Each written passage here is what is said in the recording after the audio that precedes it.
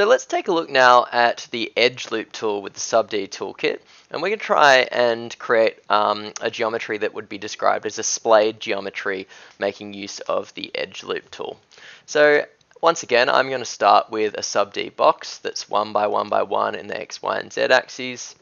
I'm going to make it a little bit more rectangular this time um, and I'm going to just swap into unsmooth mode with the tab and we're going to come up here to the insert edge loop or edge, ling, uh, edge ring tool. So I'm going to click on that.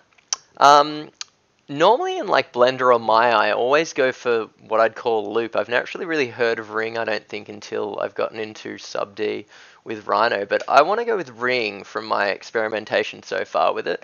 Ring, if we click on one of these edges, will try and select all of the uh, edges in our geometry that are kind of, you know, running perpendicular to one another. And if I hit enter, what it'll enable us to do is to create basically a ring of edges around our output. So I'm just going to click one here, and I'm going to do it again. I want to do a ring and create them, you know, here. And then we'll create another ring going around this side like so. In fact, I actually wanted to do it this way, so we'll just go and perk that up uh, like that. And I actually also wanted, in fact, I want to add one extra um, ring to this. So in here, and I might just slide this edge over like that and like that.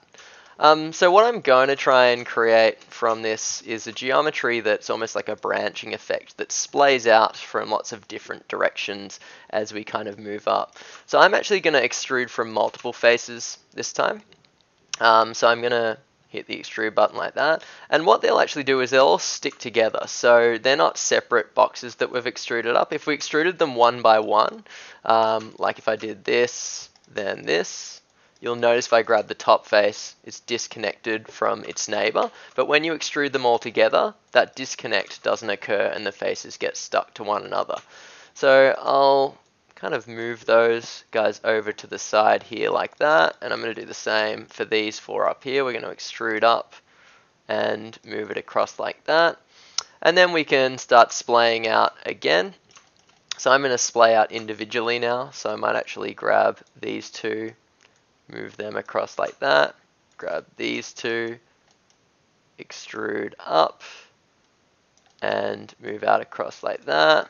Might grab these two, extrude, oops, didn't get the extrude there, got the move, extrude up, and move across like this. And then these ones as well, we'll extrude up, missed it again, can be a bit frustrating sometimes and then we'll move them across like that. So we're starting to get a little bit of a branching effect in our geometry. And now that I've got all of those ones, I can start to go and create some branching effects. So if I hit tab, you'll see I get quite a blobby kind of geometry coming through here. Um, I might just manipulate these things a little bit, like maybe we move these edge rings over a little bit get a little bit more of a splay coming out um, in this geometry type. So as always, your sub-D modeling is a little bit by eye, trying to you know massage that into an output that you're kind of happy with uh, until you kind of splay that thing out a little bit. So you can sit around and manipulate this yourself until you get a nice splay through.